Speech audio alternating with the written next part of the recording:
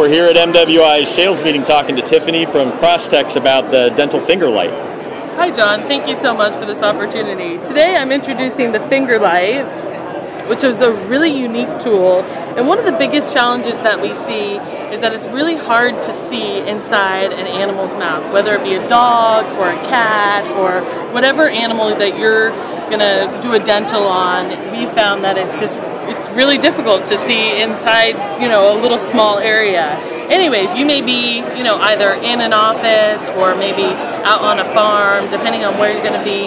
Actually, it depends on where you're going to actually need this. So what this is is it's called a finger light, like we said, and basically you just strap this little guy onto your arm.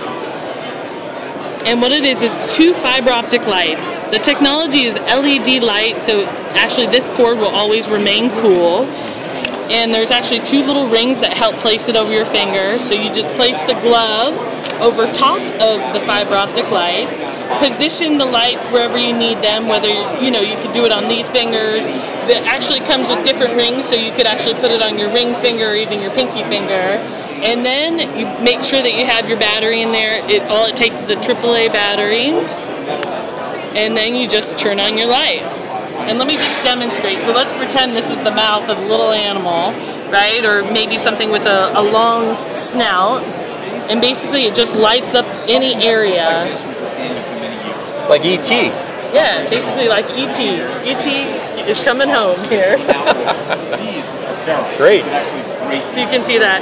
Um, it's also useful if you're doing a surgery, like out, in, you know, on the farm or whatever, because um, it really gives you a, a, just a detailed look at what you're going to be accomplishing. Terrific. And can we see what it looks like without the glove on too? Oh, sure. Okay, so you get the fiber optic lines, the mm-hmm. rings, yeah, and the really tips. easy to put on. Just like I said, you just snap these right into place. Okay. Can you turn off the light for a second too? Sure. Okay. Great. All right. Thanks, Tiffany. Thank you.